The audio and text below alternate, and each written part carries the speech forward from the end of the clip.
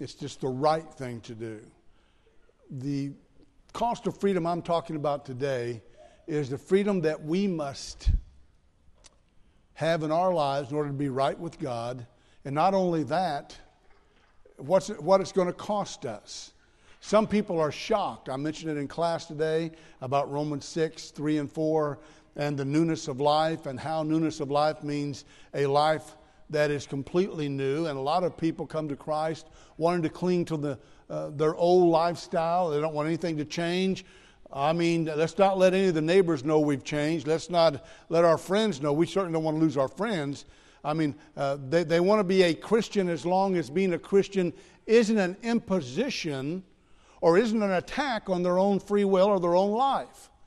As long as Christ doesn't become, you know, invasive of who I am and what I want to be and what I happen to be, uh, what I was before, then everything's going to be fine. The idea of freedom from the word aphesis in uh, the Greek means pardon. I found it interesting. Pardon, deliverance, forgiveness, liberty, remission. Acts 2.38, we're baptized into Christ. If you remember that, each every one of us were to repent and be baptized into Christ for the remission of our sins. I love that because it denotes the idea of freedom from our sins. I like that idea. When we're baptized into Christ, it's then and only then that we're set free from that burden of sin that we have. It's never we are redeemed, Ephesians 1 and verse 7, by the blood. But I find it interesting here that all of us understand there will always be those who want to take away, uh, take us away from the relationship we have with God, the freedom we have with Almighty God. Now, before we get into book, chapter, and verse, the first book that I ever wrote, that was ever published, that I did, was a book called Living Without Limits. Now, I'm bringing that up because it was a, a not a scriptural, uh, I say scriptural, biblical book. It was a motivational book, if you will. I still had biblical principle all through it. But my brother had a friend, and his friend is one of those that likes to pick things apart especially when it comes to Christianity or someone that he thinks might know a little more than he does. He wants to tear them down all the time. To which he told my brother, he said, I don't know how your brother could write a book and title it Living Without Limits. Isn't he a, a preacher and a, a Christian? And no one's more shackled on this earth than a Christian. How can he possibly say that he's living without limits? He's limited in the way he is, he's living. To which my brother asked me, he posed that question to me, and I said, No, you need to tell your friend that he's the one limited. Because he's limited to this world and what this world has, and it's the greatest he's ever going to see. I'm living without limits because my God says, one of these days, if I'm faithful and true to Him, I'm going to see something like no one else has ever seen before. All those who are in Christ Jesus. It's a place called heaven. That's what I'm talking about, living without limits and having that way. But always going to be those type of people. I want you to watch this. 1 Peter chapter 4, verse 3 through 5. You want to turn there if you have your Bibles. If not, it's on half screen up here. For the time that is past, watch, for the time that is past suffices for doing what the Gentiles want to do. Now, this is an interesting part of Scripture, not that all of it isn't, but focus on what's being said here because Peter gets to the, to the nitty gritty here. For the time that is past, that means your past life, suffices, that means that's good enough for doing what the Gentiles want to do. Watch, living in sensuality, passions, drunkenness, orgies, drinking parties. That's in the Bible, it's there. And lawless idolatry. Now look at verse 4 carefully. With respect to this, they are surprised when you do not join them in the same flood of debauchery or dissipation, and they malign you. Now, before we get to verse 5, you look up and some scholars, some commentators are going to get, get right with the idea here of the, you know, the Greek language, what's being said, and it's very much to the point. There will be those people that will malign you, that will make fun of you. They're going to think it's strange that you don't follow the crowd. They're going to look at you, some of you, you, you uh, g- girls and, and boys that are you know, in your teenage years, and, and they wonder why it is now. You know, why it is that you're holding on to purity and all of this, and they're going to make fun of you. They're going to look at you and say, Boy, you are an oddball. Why are you holding on to purity? So much out here to explore, so much adventure for you to take hold of, and so much to be involved in. And here you are, living a life that's so limited because you're claiming to be a child of God. And don't you get tired of having your life governed by a book and by rules and all of this? Literally, what's being said here, as one commentator said, is the imagery in the Greek of somebody running along with a pack of dogs or wild animals. They think that it's that it's uh, ludicrous for you to hold on to morality and not run with the wild pack of dogs through the neighborhood, not follow them. Never forget that girl, I know I've mentioned this, but that girl that talked to me and said, uh, I don't know what to do. She said, Every time I'm around my friends, this just a few years ago now, and the pressure was on her not to be pure. And the other girls were there said, I want to tell you this. You know, I, I lost my purity at this age. I lost my purity at that age. Brother Jack, I didn't come here to hear all this. Well, you're going to hear it, you know, because it's Bible, it's true, and we need to share these things together. And she said, she said, you know, the, the, they're talking about this now, the peer pressure's on, and I don't really know what to say to them. I don't want to be involved, but what would you say to them?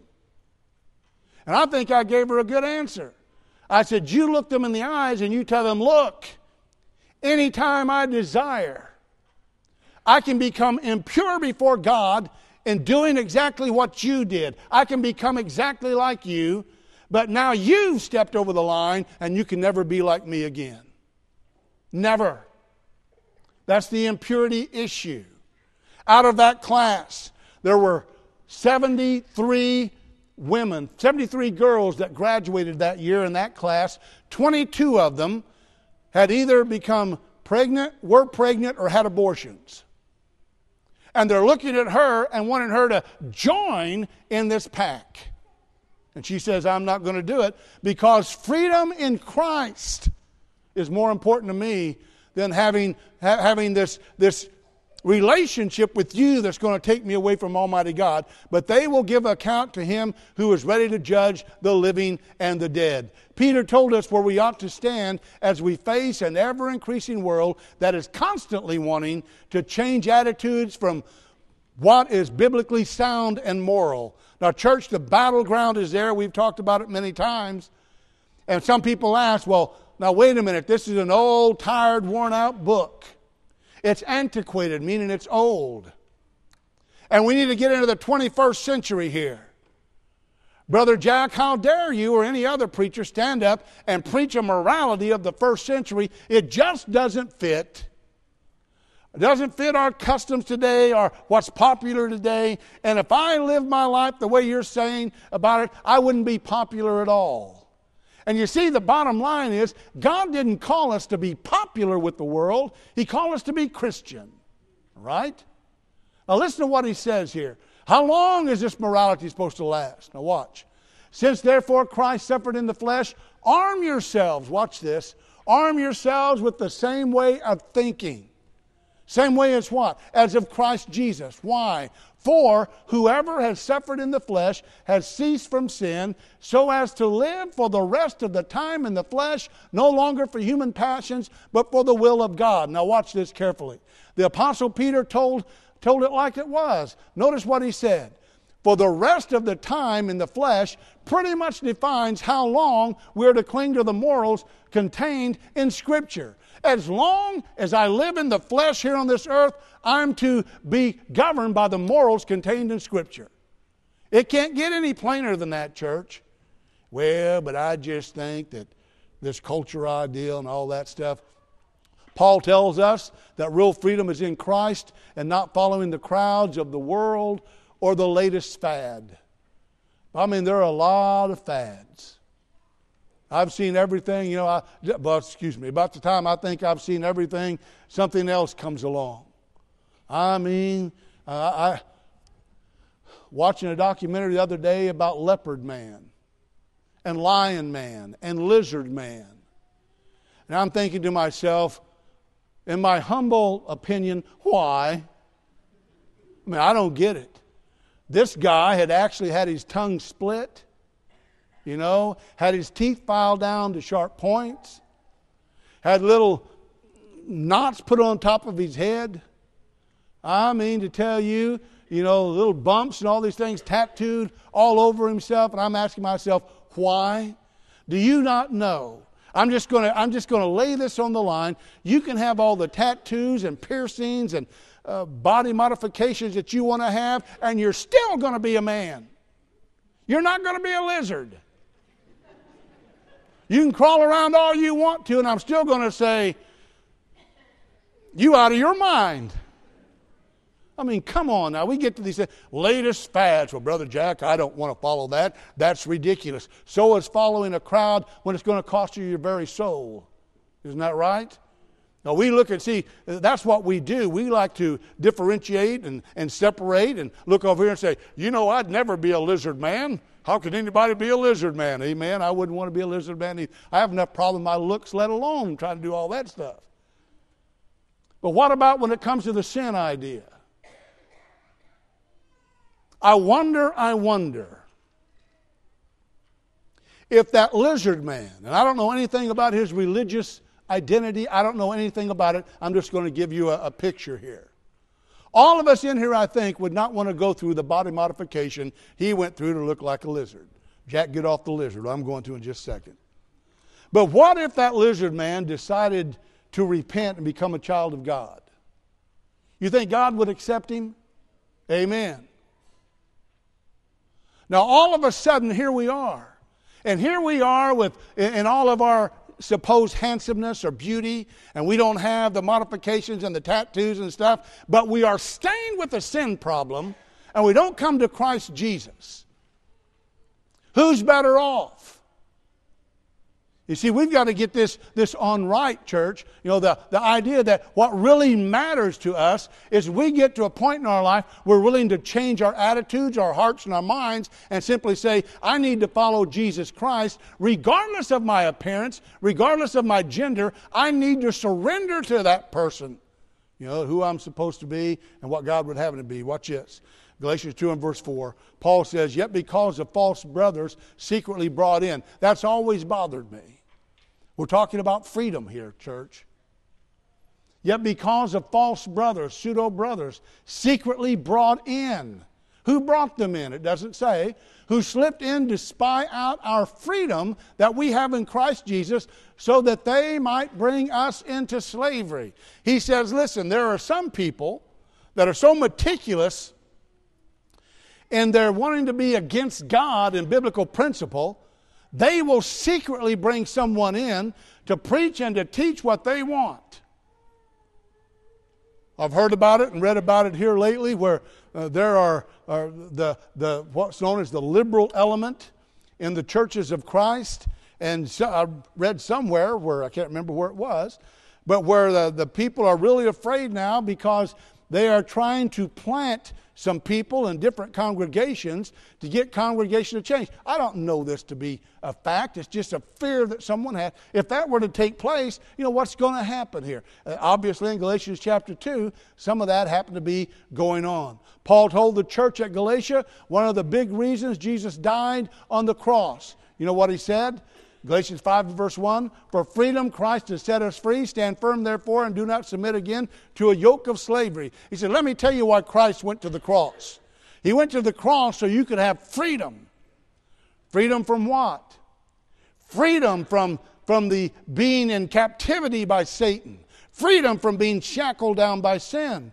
Freedom from that burden of the sin problem that's on you. Freedom from having to bear your burden alone. Freedom, being able to pray to Almighty God and have that, that connection with the Holy Spirit can be there, and the Holy Spirit can take those prayers and offer them up. Freedom, knowing we are God's children, and being God's children, we are heirs of a promise. Freedom, knowing that one of these days we'll relinquish all authority this world has over us, and one of these days the tranquility of heaven and a place called home is going to be ours. It's called freedom. But, church, in order to have that freedom, we have to give up something in our life. We have to sacrifice something to be right before God. It may be language, it may be a habit, it might be a friend. You know, who, who knows? It may even be a job that you have to walk away from in order to be right with Almighty God and to enjoy all those freedoms. Somebody says, well, now, the Bible I have says that we're to be servants and we're to be slaves, we're to gird ourselves with towels and all of this. But you see, the idea of a bondservant is that we're not forced to do this, we do it by our own free will. I just Love that. Get out of a yoke of slavery. Real freedom is being free from our sins through our obedience. That's what freedom is. I can't tell you how many times I've been at a baptism where someone, usually it's somebody a little older, that's baptized into Christ Jesus.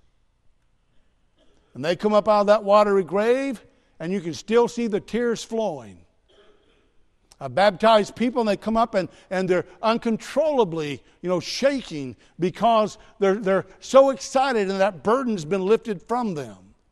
Now, it's not a, a, a, a total emotional thing. I remember one guy that I baptized into Christ. He had been coming with his wife for over 50 years. 50 years. They've been married, I don't know, they were like 21 or so. He's just in his early 70s had been attending services with his wife. He was faithful. There every Lord's Day, he was there in that crowd listening. Never responded at all. I'm preaching a gospel meeting, I promise it wasn't anything I said, because uh, no, no power I have. It's the power of the Word of God obviously, and all the influence of his wife and these good folks for all those years. He knew what he should have been doing. And at the end of that gospel meeting, this man comes forward and is baptized into Christ because they're moving to a place known as Knott, K N O T T, Texas. And he moves away, and I get word two weeks later that he was in a tractor accident and lost his life. But he came up out of that watery grave, tears flowing. The burden was taken off. He said, I should have done this. I know I should have done this. You know, the greatest thing in all the world is being a child of God. He said, so that, so that my wife and I, I want to march through those pearly gates, he said, Revelation 21 21, together with her. I love her so deeply. I always wanted to ask him, What took you so long? But I never did because it didn't really matter at that juncture because he was obedient to the cause and to the gospel call 2 thessalonians 2.14 real freedom is being able to submit to god out of true and honest love for the sacrifice he gave for the saving of our souls. You know what that means church? That means do i have the ability in my own personal life to really not take god for granted and to really know what was done for me? And to realize how important god realizes i am to him now, you think about that for a second. Sometimes we go through life wondering about our self worth. Everything, you know, we want to put ourselves down. We can't do anything. You know, something happens, somebody compliment, whatever it happens to be, and we just feel like, like, you know, dirt on the bottom of a shoe. Do we understand you want your self worth? Listen to what I'm saying today. I just don't know what I'm supposed to do. You're supposed to serve God. Your self worth is in this Jesus Christ died for you because you have a soul. All these people out here that you may deem as much more important than you are, Jesus Christ died for them for the very same reason and for no other reason than they have a soul that needs saving. And without his death, there would be no salvation. So our Lord and Savior died because we have importance to him. We must always remember that, church. And the Lord's, you know, in the Lord's church, we are important people. I, I didn't say to be haughty or boastful or proud. I'm saying that Jesus Christ didn't die for junk, right? He didn't do that. Real freedom is in our serving one another. Let me show you what I mean by that. Galatians 5:13. For you were called to freedom, brothers, only do not use your freedom as an opportunity for the flesh. Some people do that. Oh, I'm set free in Jesus Christ. You see, that's what's known as antinomianism. Big word. You know what antinomianism is? Yes, Brother Jack, I do. Antinomianism is people that believe and practice the idea that since you have been uh, a child of God and since you are in Christ Jesus, therefore you're no longer amenable or no longer held to the moral law and you're free to do what you want to because you are a saved person. Now that's called antinomianism. And there are people that practice that. Um, um, I love what Thomas Huxley said. He said this He said, A man's worst difficulties begin when he is able to do as he likes or do what he wants.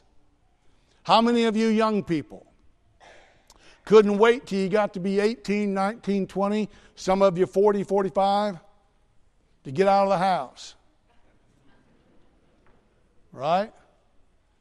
And there you are, 18, 20, 21 years of age, and you get out of the house because, after all, you know more than mom and dad, and you can't wait to do it. They can't wait for you to go. Well, you know what I'm talking about. So here you get out there, and all of a sudden you find out after you're out there not too long, there's too much month at the end of the money. Listening to me? And it happens a lot. This is a real world. You mean I have to pay to live here? What do you mean? You mean uh, pay all these bills and all of this and, and all these things? And suddenly, living becomes, you know, you think to yourself, wow, here we go. And you see, nothing, nothing gets us into trouble than whenever we forget that even though we have freedom in Christ, we are still under law, Christ's law, 1 Corinthians 9 and verse 21, and we still have to adhere to the Word of God, that freedom in Christ does not mean freedom of morality, the freedom from obligation. Let's look at some other things here. John 8, 30 and 32. I'm going to go through some things hurriedly. I'm never going to get done. As he was saying these things, many believed in him. Jesus said to the Jews who had believed in him, If you abide in my word. Now, notice that. Notice the condition. If you abide in my word and are truly my disciples, it's a double whammy. You've got to abide, you've got to truly be my disciples, and you will know the truth, and the truth will set you free. He said, before the knowing comes, the abiding has to be there. And if the abiding is there, you will be a true disciple. If you are a true disciple, then you're going to know the truth. And if you're a true disciple that knows the truth, that truth is going to set you free. Okay, let's look at something else here. I love this, I'm just going to tell you this. Well, I'll, I'll read it. On the night of the emancipation of, of the Jamaica slaves in 1838, I read this and it gave me chills. On that night, those slaves got together and made a mahogany coffin and they dug a grave because they had been enslaved for years and years and years. Into that coffin, they crowded all the various relics and remnants of their previous bondage and sorrow. In that coffin, they put the whips, the torture irons, the branding irons, the coarse frocks, the shirts, the great hat, fragments of the treadmill, and the handcuffs. They placed him in the coffin and screwed down the lid. And at the stroke of midnight, those Jamaican slaves lowered that casket into the grave and said, said, We are free now. All these implementations, all these implements of slavery, we are free now. I love to preach John 11 44. Wherever I go in a gospel meetings, I love to preach it because Jesus goes to the grave of Lazarus and he raises Lazarus from the dead, and Lazarus goes forth. And if you remember John 11 44, Jesus looks at the people and they say, Unbind him and let him go. Lazarus raised from the dead, like so many people, raised in that water grave of baptism, but for some reason they want to keep on the grave clothes. Just want to keep them on that attire that keeps them bound. They're not set free. Remember the illustration I've used many, many times about here we are where we sit in the proverbial bird cage, and God has opened up that cage, and here we sit in that bird cage. And we sit on the same perch day after day. And we whistle the same tune.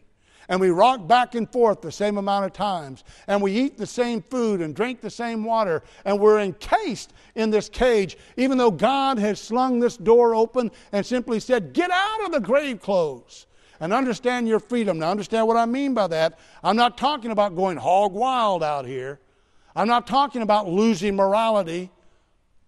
I'm talking about stepping out in faith and becoming greater in the Lord's kingdom than you've ever been before. God says, That's the freedom I'm giving you. The freedom I'm giving you is to grow in Christ and to grow in maturity. Well, one other thing I want to get to before we close today, maybe two things, maybe four or five. 2 Peter 2 18 through 19. For speaking loud boast of folly, they entice by sensual passions I tell you what, I'm going to uh, close with this right here. Okay, sound room?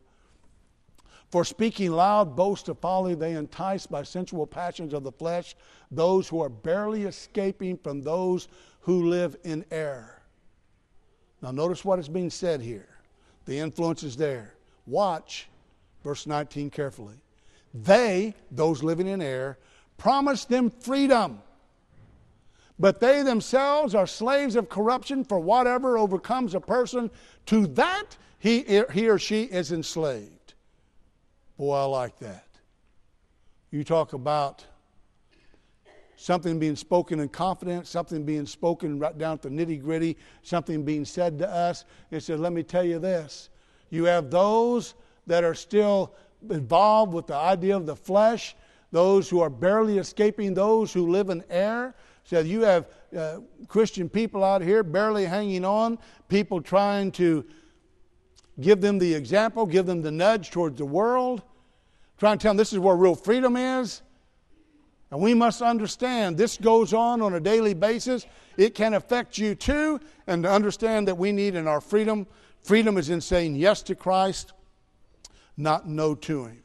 See, we have a, a wrong concept of what freedom really is.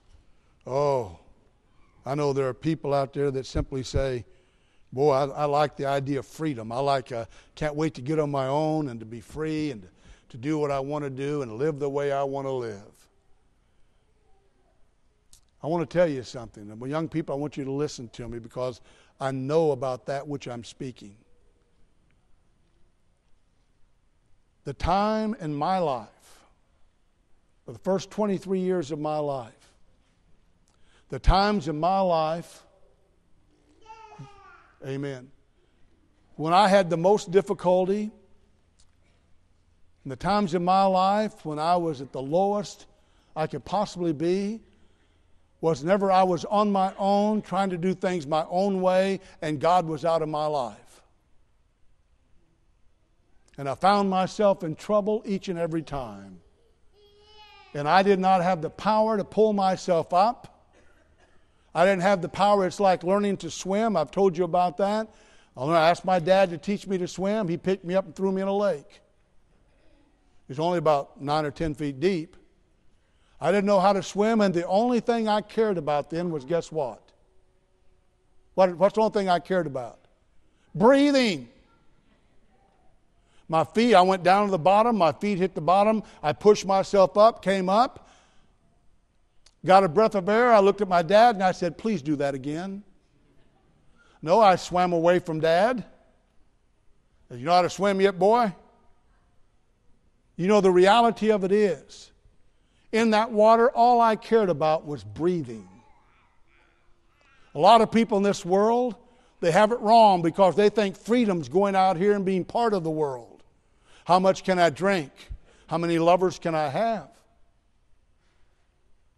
What can I do and get away with this? How can I experiment with this? And sad to say, in this world, in, in this, this sea of the world, this ocean of the world, many people are thrown into that bad boy and they have to go all the way down to their feet hit the bottom and they finally realize the most important thing in their life is spiritual air. And sad to say, many people don't push themselves up off the bottom. They stay on the bottom deprived of that which can give them life. Thus, the Bible talks in Ephesians 2 and other places about those who are spiritually dead. There's no life in them. Don't be that way. Understand real freedom is where life is. Real freedom is where rest is given, and that's in Christ Jesus. If you have a need today, baptism, repentance, whatever it might be, won't you come as we stand and sing?